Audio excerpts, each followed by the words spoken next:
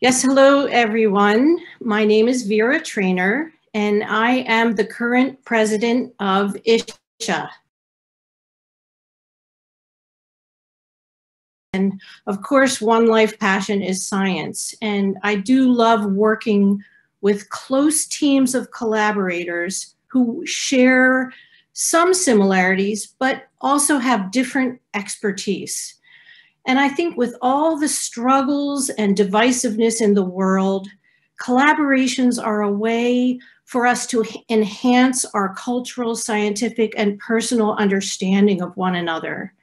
I think we can work together almost like a sports team with everyone playing in a different position, but toward a single goal.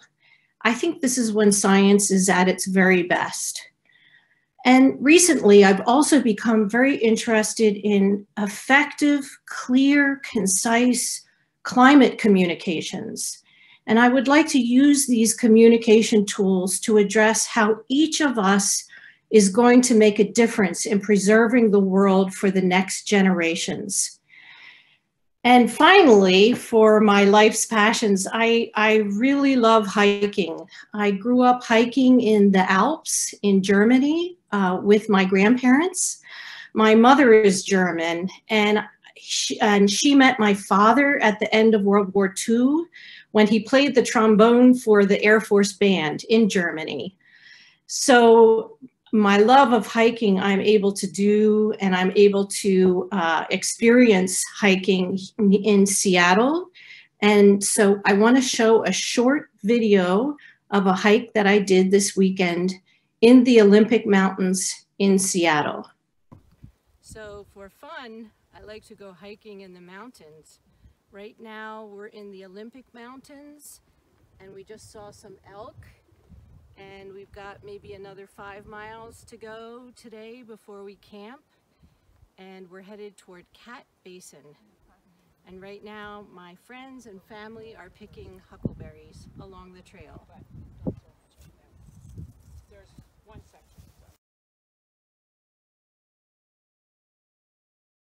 Well, I've been lucky to have many great experiences, but I thought you'd be interested in hearing about a great experience that I had in science. Um, and this was a true aha moment during a scientific conference. It's just, I think, a really rare moment where I just had this, this flash, this light bulb go off. So I had just finished my postdoc studies um, on nerve channels, including sodium channels, with Bill Catterall at University of Washington. And you all know that saxitoxin acts like a cork on a bottle to block sodium influx through channels into nerves. Well, I was lucky enough to go to the Tasmania ISHA conference, and I heard Monica Bricelj give a talk. She showed pictures of softshell clams from areas in the sea that had experienced saxitoxin in the environment. So they'd been exposed to paralytic shellfish toxins. In the lab, when they're exposed to toxic alexandrium, they were able to burrow in the sand. But in contrast, clams from areas that had no experience with saxitoxin in the environment were not able to burrow when they were exposed to toxic alexandrium. Their limps, their siphons became limp and they became paralyzed. And so this is where my aha moment came, where I knew because I'd studied sodium channels that this was probably due to a mutation in the clams that were from areas that had experienced saxitoxins. So, and I was just, I had just started my job. I was a young, young early career scientist like many of you. And so I decided to reach out to Monica Bricelj and email her. And I was very nervous about that. But I thought, I'm just going to be bold and I'm going to try this because I just think this is such a good idea. So together, she was very kind. And together we wrote a proposal together with Bill Catterall, my postdoc advisor. And a few years later, we published a paper in Nature documenting, documenting this sodium channel mutation. So I think this is an example of where science was at its most exciting and, and best, where you have an idea, you reach out to colleagues who you know, maybe you're a little bit bold, you think it's a crazy idea, but you believe in yourself and you do it. So as far as my personal life, I have two children who, uh, with my husband, we've adopted from Guatemala. I'm super proud of them. My son, Roberto, he is now just starting college. He's studying chemistry, even though he says, Mom, I'm nothing like you. And he's also playing Division three college baseball. My daughter Stephanie is 14 and she just started high school and she's a great soccer player. So in some ways, I'm also a soccer mom. I'm driving her to her games every weekend and some evenings. Um, and I am a pet owner. I have two fuzzy Maine Coon cats, Hunzy and Gracie. And I love dogs, but we travel, so I'm not able to have a dog uh, right now. Um, I was on a research cruise in 2015, and I was getting ready immediately after the research cruise to go to Vladivostok, Russia for a PICES meeting. And I got an email while on the cruise saying, well, make sure your visa is correct in your passport because as a US citizen, I need a visa for Russia. And I have no access to my official passport. It's in a safe and it's under lock and key. So I get off the research cruise and I remember it was a Friday and I'm looking all around for my passport, can't find it. Finally, somebody finds it and I look inside the passport at the date for the visa, and it is the date after I'm scheduled to arrive in Russia. And I think, well, what are they going to do? Kick me out of the country? So I fly from Seattle to Seoul, Korea, waiting in Seoul, Korea, Korea for many, many hours. And then finally, I get the flight to Vladivostok. And I'm there with several colleagues. And we arrive in Vladivostok and we get to the customs man who's checking the visas. My colleagues are ahead of me, and I'm the last one to go through. And he takes the passport, he looks at the passport, he looks at me, he goes, When are you scheduled to arrive in the country? And I said, Well, I was on a cruise and the visa, it's the wrong date.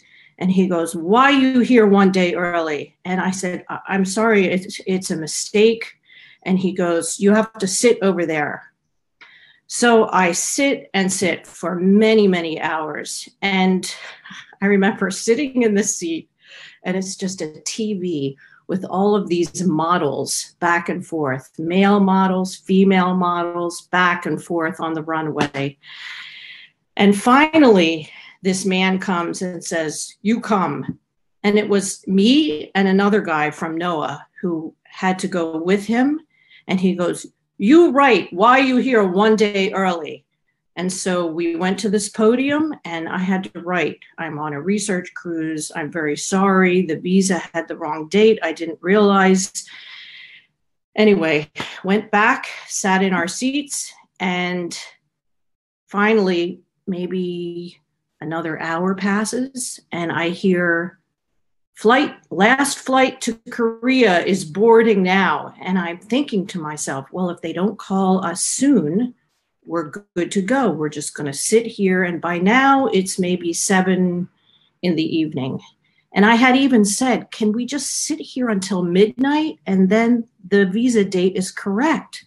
Well, they didn't think that was funny and they were not smiling and they were not happy. So finally, this man comes back and he said, You come.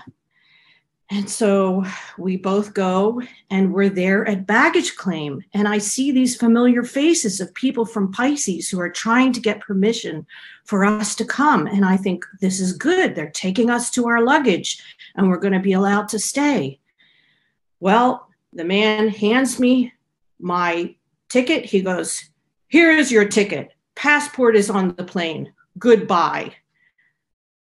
So there we were, had to fly all the way back to Korea. No chance to go into Russia. I guess my colleagues had been at the bar for a couple hours and then they gave up. So, anyway, back to Korea. We were so tired. Finally, we found a way to get back the next day. So, $500 later, we were able to get a flight on Vlad Air, which I later found is one of the most dangerous airlines in the world, but we had no choice. Flew back to Vladivostok. Same guy was there at the customs desk, looked at the passport, stamped the passport. There I was in the country. So now it's funny. It wasn't so funny when it happened, but there's my story.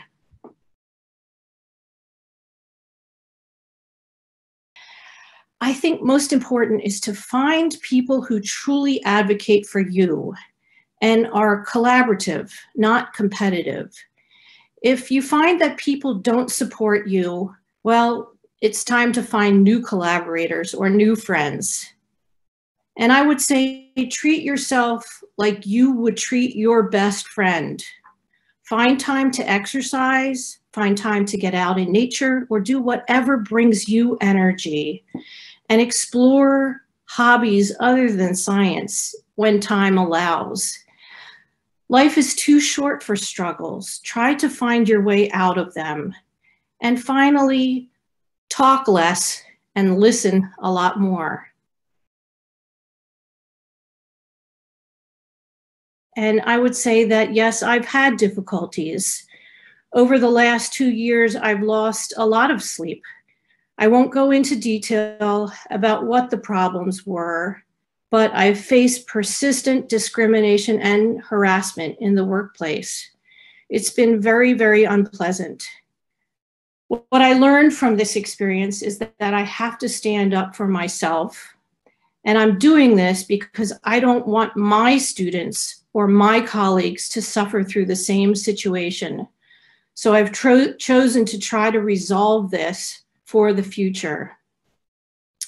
In, two, in today's workplace, there are still situations that require pioneers, people who are willing to stand tall to fight difficulties. So that's what I have to say a little bit about myself. Uh, I want to thank you for listening and feel free to reach out to me anytime, email me to ask for advice and please enjoy the conference. Thanks again.